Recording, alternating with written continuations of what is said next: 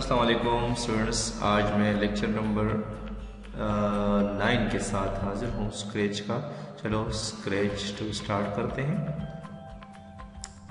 जी students तो scratch two में अभी तक हमने पेन टूल तक ब्लॉक्स समझे हैं कि पेन टूल में ये सारे ब्लॉक्स किस तरह काम करते हैं। ठीक है? तो इसको हमने समझाया था।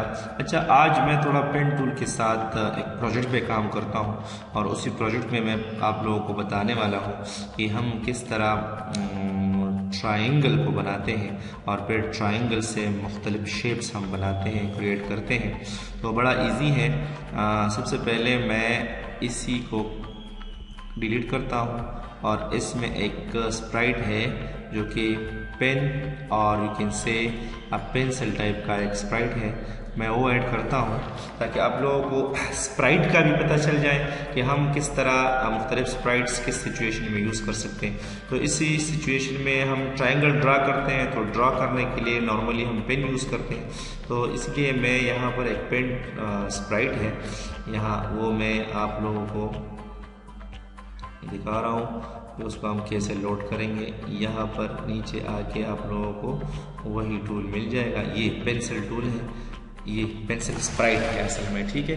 इसको आप ओके पे क्लिक करें तो आपके स्क्रीन में अब पेंसिल ऐड हो गया तो आप जब जो भी चीज़ हम ड्रा करते हैं, मिसाल के तौर पर लाइन ड्रा करते हैं ठीक है? तो इसके लिए हमें पेन टूल का सहारा लेना पड़ेगा। चलिए, एक लाइन ड्रा करते हैं। तो जब भी हम लाइन ड्रा करते हैं तो हम मूव टूल यूज़ करते हैं। उसके बाद हम पेन को डाउन करते हैं। पहले पेन को डाउन करते हैं। एक कलर सेलेक्ट करते हैं, ठीक है? सेट कलर ठीक है? उसके बाद हम चाहते हैं कि ये इसी तरह टेन स्टेप्स या हमने रिपीट्स भी पढ़ा था। तो मैं चाहता हूँ कि ten steps ten time repeat हो जाए। तो ये आप रन कर लें। अच्छा एक चीज़ ये आप याद रखिए, अभी इस पिन ने जो ड्रा किया तो ये देखिए पिन की मिडल से लाइन ड्रा हो रही है, ठीक है? ये इसका साइज़ थोड़ा बढ़ाएँ पिन का साइज़ जब आप बढ़ाएँगे सेट पिन साइज़ टू मैं यहाँ पर फाइव और टेन रख लेता हूँ, ताकि आप लोगों को समझ आ जाए।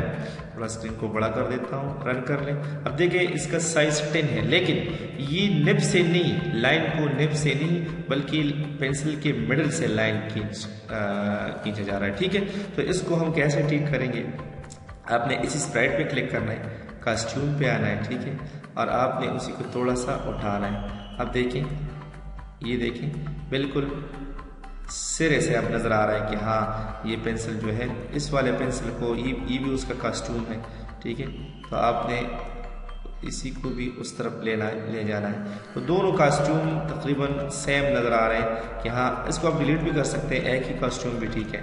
तो अब जब आप ड्रा करेंगे तो बिल्कुल ये नेप के सिरे से ड्रा होगा। तो ये बड़ा इंपॉर्टेंट है कि आप किस तरह एक लाइन को ड्रा करते हैं। हमारा मकसद है आज ट्रायंगल को ड्रा करना। हम ट्रायंगल को कैसे ड्रा करेंगे? सबसे पहले हम गो टू एक्स वाई पे जाके ज़ीरो और ज़ीरो कर लेंगे ठीक है? इसके बाद ठीक है? इसको हम ज़ीरो कर लेंगे। देखिए अब जब रन कर लेते हैं तो ये उसी मिडल से आ, करेगा। अच्छा जी इस, आ, इसके अलावा मैंने आप लोगों को क्लियर टूल भी समझाया था। तो जब हम स्पेस पे क्लियर करें तो सब कुछ क्लियर हो और ये मेडल पे आना चाहिए, ठीक है? इसको मेडल पे आना है, ठीक है? अच्छा इसके अलावा आप अगर इसको, इसके साथ मिलाएँगे, ये देखें। पोजीशन का जो टूल है गो टू एक्स वाई ठीक है? तो ये उसी पे अब जाएगा, देखिए। हाँ इसके बाद क्लियर करना चाहिए, ये देखिए स्पेस पे क्लियर भी हो रहा है। सबसे पहले स्पेस पे ये बिल्कुल ज़ीरो ज़ीरो पोजिशन पे चला जाता है, ठीक है? अच्छा थोड़ा सा इसको आप श्रिंक कर लें ताकि पेंसिल छोटा हो जाए। ठीक और इसको मैंने डिलीट कर दिया। अच्छा एक काम हमेशा याद रखें, जो स्पाइट डिलीट हो जाता है और रिकवर नहीं होता तो सारा कुछ मुझे दोबारा करना पड़ेगा। पेंसिल टूल को ले लें।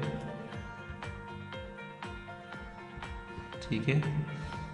पेंसिल टूल को लें, उसके बाद हम इसका पोजिशनिंग करेंगे ज़ीरो ज़ीरो पे। जब हम फ्लैग पे क्लिक करें तो ये बिल्कुल उसी पोजीशन पे इसको आना है।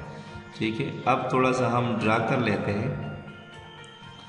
ड्रा हम चले स्पेस पे कर लेते हैं पेन डाउन जब हम पेन डाउन कर लें तो ये टेन स्टेप्स इसने मूव करना है हंड्रेड टाइम्स ये देखें, ठीक है? थोड़ा सा आप पेन में जाके इसका साइज़ कलर कर लें और साइज़ भी सेट कर लें। साइज़ टेन कर लें ताकि लाइन जो है ये बड़ा। अब देखें, ठीक है? लेकिन एक मसला ये है कि ये कास्ट्यूम जो है ये जो स्प्राइट है पेंसिल ये इसके मिडल से लाइन खींच रही है। तो इसको आपने उसके डिज़ाइनिंग टूल में इस तरह ऊपर ला के इस तरह करना है, ठीक है? तो अब अब देखें, बिल्कुल सही हो गया। अच्छा जी, यहाँ पर हम इसको क्लियर भी कर दे रहे हैं। ये आप इस पर क्लिक करें, ठीक है? इस पर क्लिक करें। तो आप बिल्कुल मिडल से ही लाइन खींचता है। ठीक है स्पेस पे क्लिक करें तो ये लाइन खींचेगा ठीक है? लेकिन अब बिल्कुल पेंसिल के निप से ये लाइन जो है ना ये खींच रहा है। अच्छा जी इसको आप साइज़ इसका चौड़ा करते हैं। बिल्कुल अब सब छोटा हो गया।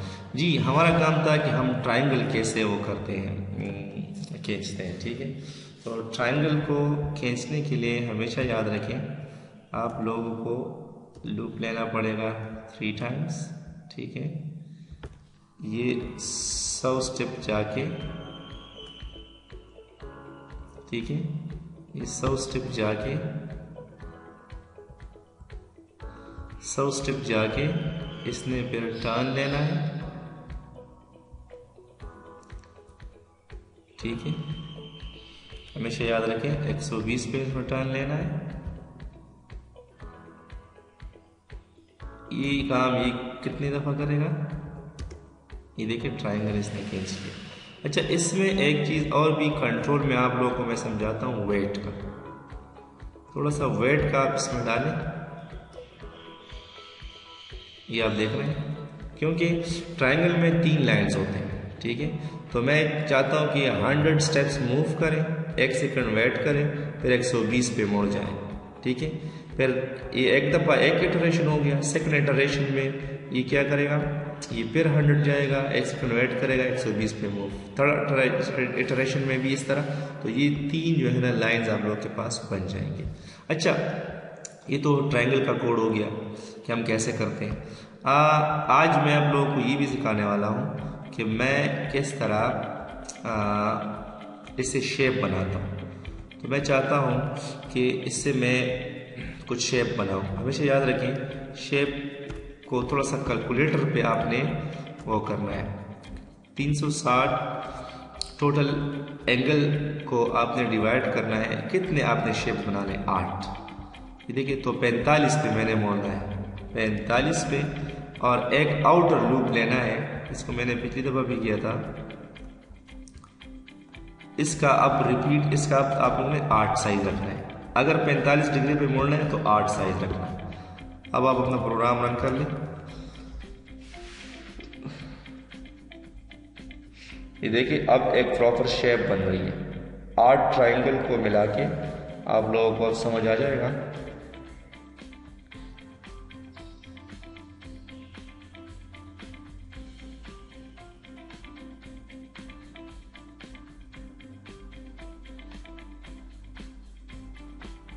बिल्कुल ज़बरदस्त। ये उसी जगह पे वापस आके सीधा हो गया। ये प्रॉपर एक शेप बन गया, ठीक है? इसके अलावा आप लोग इसमें ये बाकी के टूल्स भी change pen colour by ten ये भी आप यूज़ कर सकते हैं, ठीक है? हर दफ़ा आप इसको आउटर में रख लें, ठीक है? इससे ये वेट जो है ना ज़ीरो से कम कर ले ताकि ये जल्दी जल्दी कर लें। ये देखें।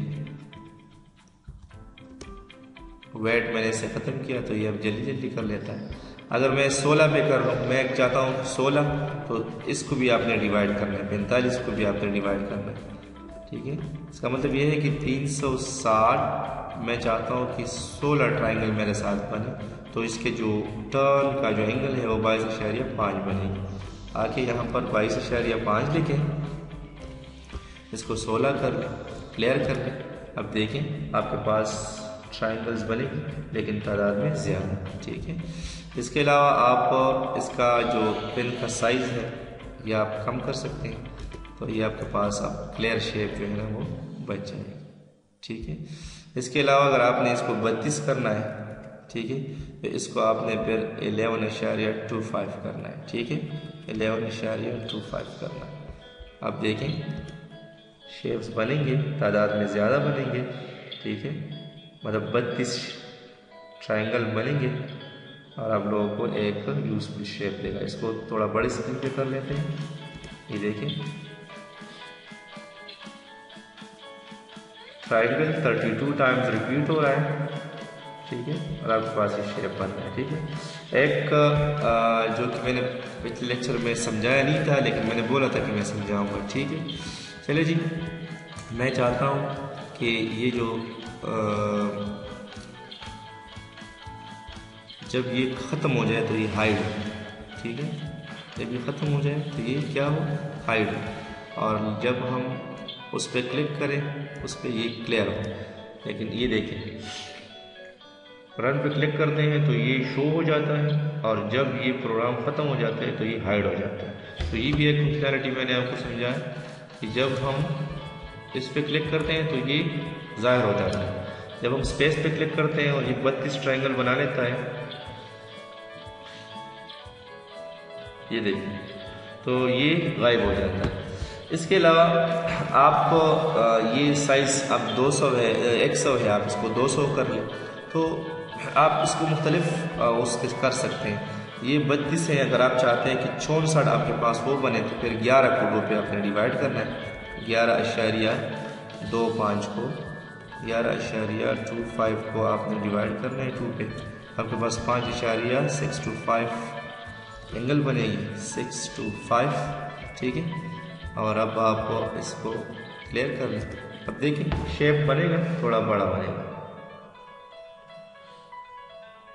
200 साइज़ का बनेगा। अच्छा ये इसमें एक मसला आ रहा है। स्टेज का साइज़ जो है ना, आपके पास अब ये एक्स एक्सिस पे 200 पे अलाउ नहीं करता। तो इसके लिए आपको चाहिए कि आप इसको थोड़ा कम कर लें। ये ऊपर ऊपर जो है, ये वन एटी है, ठीक है? तो वन एटी से आपने इसको कम रखना। 140 रखना है तो फिर ठीक है। अब सही है।